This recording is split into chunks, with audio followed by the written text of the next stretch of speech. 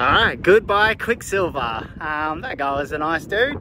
He, uh, he, I couldn't get the motor going, and um, it's only just been recently serviced, so he, uh, he, he bought it anyway. I just knocked a little bit off the price, and it's not much to that engine, so he's going to take it home and he's going to fix it, and they're going to head off this weekend. So hopefully my new tender gets here soon. Three minutes away. Um, got word basically this morning that I can come pick up my new tender. Yes! I'm gonna get there within eight minutes of them closing. What the hell Continue is that? straight. Wind turbines. Holy moly, those blades are massive. Um, I've hired a trailer. It's coming in a crate. It's coming from New Zealand. It's coming from a company called OC Tenders. I put this order in in the middle of the year last year, and so end of February, six, seven, eight months.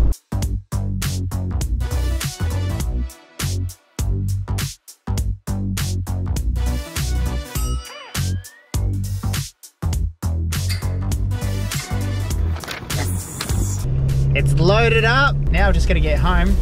So I'm in the port of Brisbane and it's usually about an it's about 50 minutes home, but to where I live on the boat on the canal in Gold Coast. Radio, unbox it.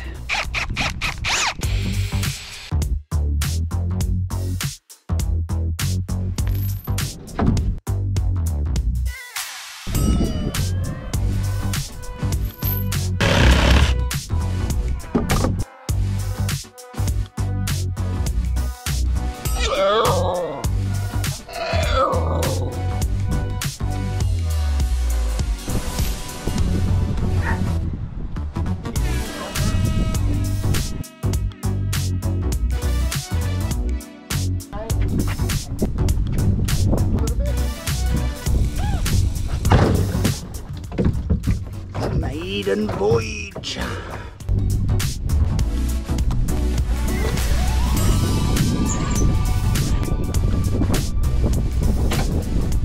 Wicked.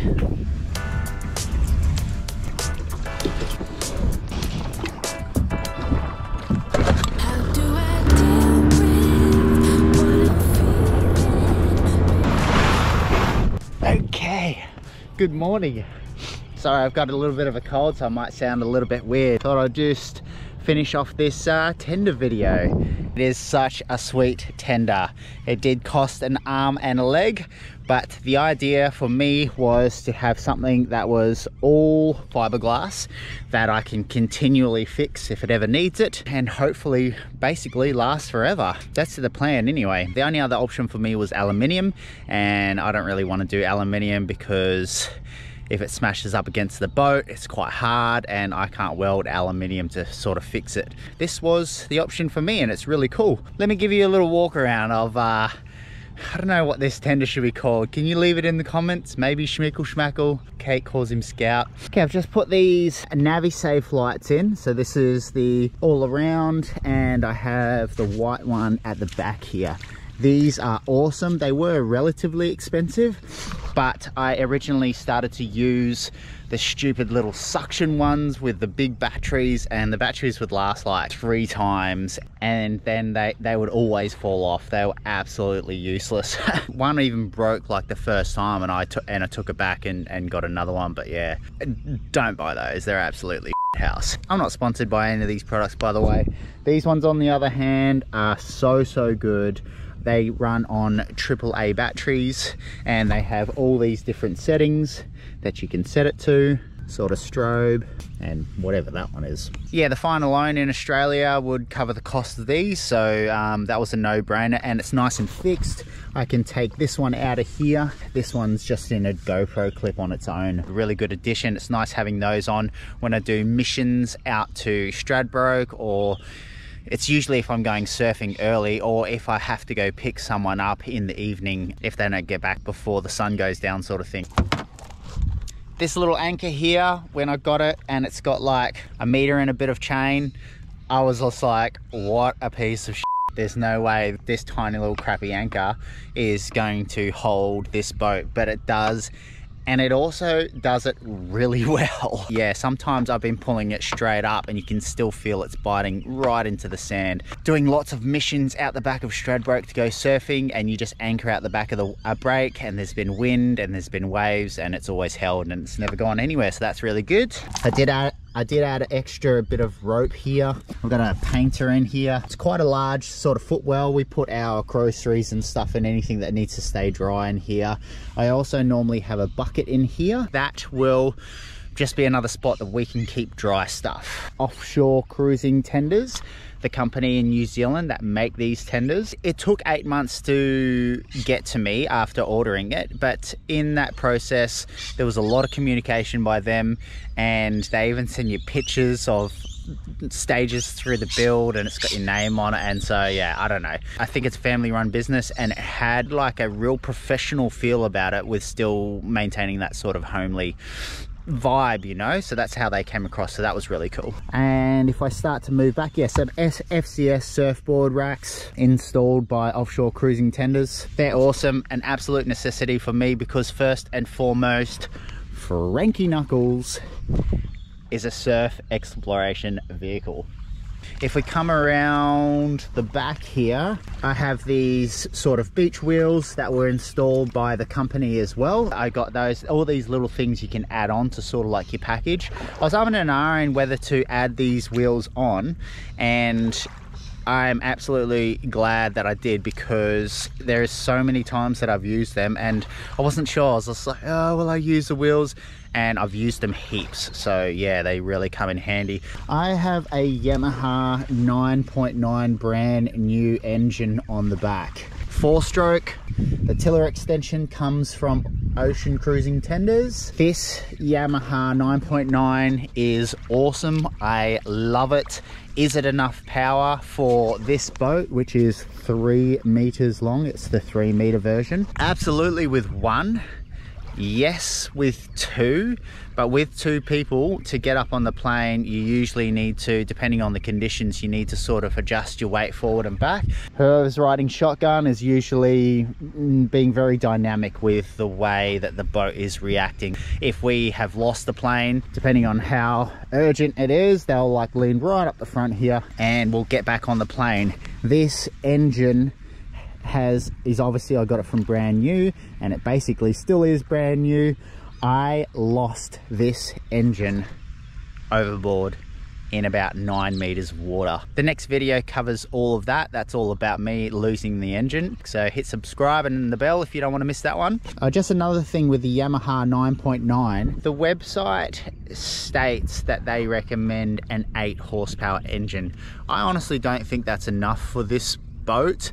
I assume they recommend that based on the transom and how much load you could put on it with higher horsepower engines. This is all assumptions, I have no idea. But 9.9 is really good for one or two people. It can't really get up onto the plane with three people. Just that little bit more power might make it better for when I've got three people in the tender. But also when you have three people in the tender, that is a lot of weight. And do you really want to be going that fast? The more you sort of bashing it around the quicker it's going to disintegrate. Hopefully by the end of this year this whole thing will be going electric too. I'm still in the design side of this uh, that project, the design phase of that project. Hit the subscribe and the bell if you don't want to miss that one as well. That's going to be pretty exciting. I've installed this pad eye for security so I can lock everything down. I also have two other locks that I use to lock everything down. I'll show you that in a little bit. At the moment, as a safety, I've just got this going on here. I have a massive big bike lock that goes through the engine and also through this and at, that can't actually open and that sort of locks it up. So ever since I lost the engine overboard I've got this little safety on here. At the same time that I bought my engine I brought this 24 litre uh, fuel tank. Works good. Pull it into the water a bit. It's also light. It's like 60 kilos.